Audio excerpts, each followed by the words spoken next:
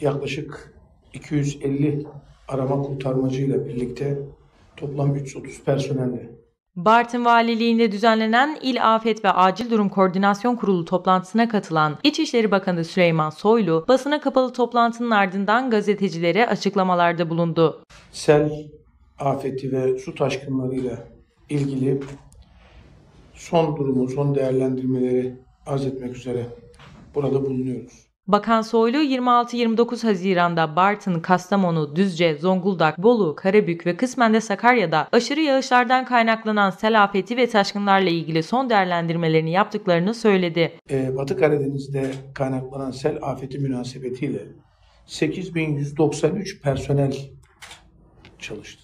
Soylu, Batı Karadeniz'deki sel ve taşkınlar sonucu iki kişinin kayıp olduğunu, bu olaylardan birinin Düzce'de yaşandığını ifade etti. Yaklaşık 250 arama kurtarmacı ile birlikte toplam 330 personelle orada bu arama kurtarma çalışmaları ve kayıp bulma çalışmaları devam ediyor.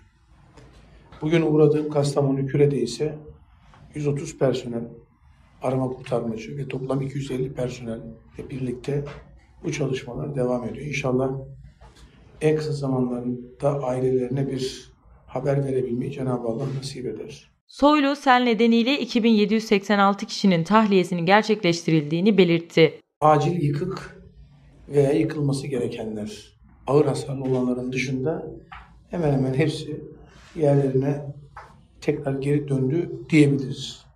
Ama gerek yıkık gerekse ağır hasarlı, acil olarak nitelendirdiğimiz e, konutlara elbette ki dönebilmek mümkün değil. Onlarla ilgili diğer saf, safahatlar gerçekleşecektir. Bölge genelinde çalışmalara katılan personel sayısı ve araçlara ilişkin bilgi veren Soylu, afetzedelere toplamda 56 milyon 863 bin lira nakit gönderildiğini aktardı. Ee, Batı Karadeniz'de kaynaklanan sel afeti münasebetiyle 8193 personel çalıştı.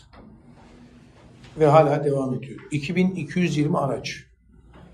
Bunda yerel e, özellikle var olan illerin kendi araçları ama aynı zamanda da Türkiye'nin birçok yerinden, birçok kurum ve kuruluşundan buraya gelen, bu bölgelere gelen katosundan iş makinesine kadar, kamyonundan su tankerine kadar, GCB'sinden bir tarafta vidanjörüne kadar, su çekme araçlarına kadar veya daha komplike e, vektör dediğimiz e, araçlara kadar hemen hemen hepsi şu anda bu çalışmalarına devam ediyor.